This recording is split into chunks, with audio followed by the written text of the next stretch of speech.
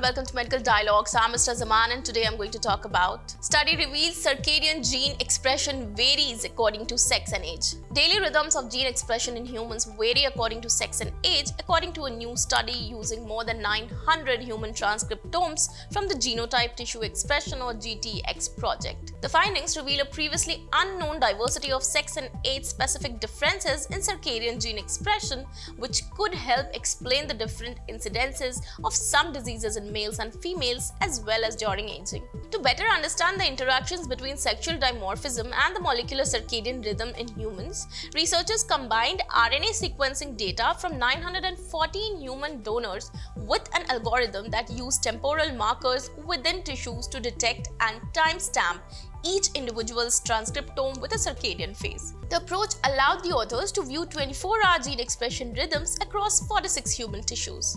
They found that circadian clocks were all synchronized across body tissues with genome-wide 24-hour rhythmicity in gene expression occurring primarily as morning and evening waves. Metabolic tissues showed the most rhythmicity and brain tissues the least.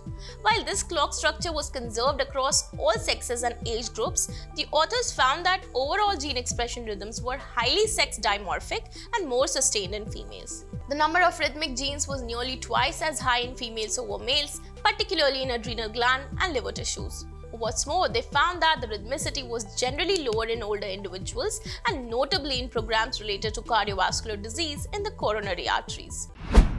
That's all for today. Stay tuned to Medical Dialogues for latest updates.